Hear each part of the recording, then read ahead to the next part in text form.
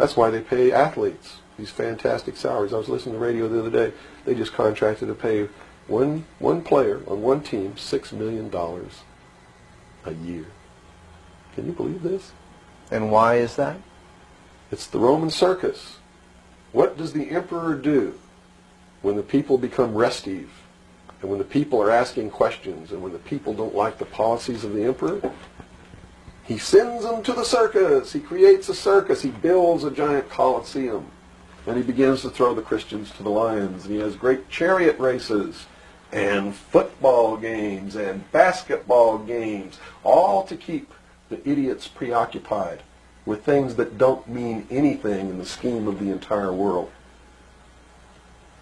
So that they don't have the time to learn what the truth is. So they don't ever get smart enough to learn how they're being manipulated.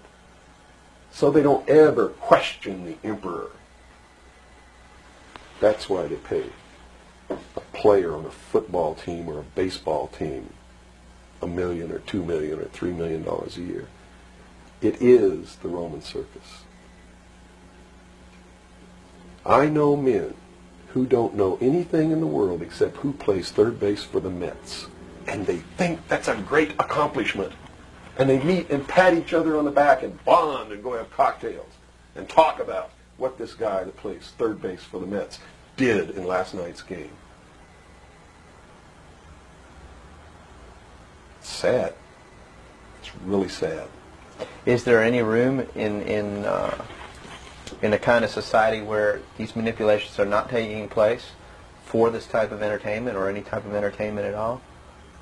If people understand that a game is a game, if people understand that nobody, nobody, no matter what they do, is worth paying two or three million dollars a year for, people should be able to get rich if they want to Mm-hmm. by the sweat of their individual labor. Okay? By going out and doing something for the world. Mm-hmm. Not by taking people's minds away from the emperor. It's a game. Football's a game. Football's a game. But let me tell you something. When 150 of the most powerful men and women in the world can meet in secret in Baden-Baden, Germany, and plot the fate of billions, and nobody even cares about it. But six football players go to lunch together, and it's in the headlines across the country. You have a reflection of the society in which that exists. And it is a sick, sick society that it's doomed to self-destruction.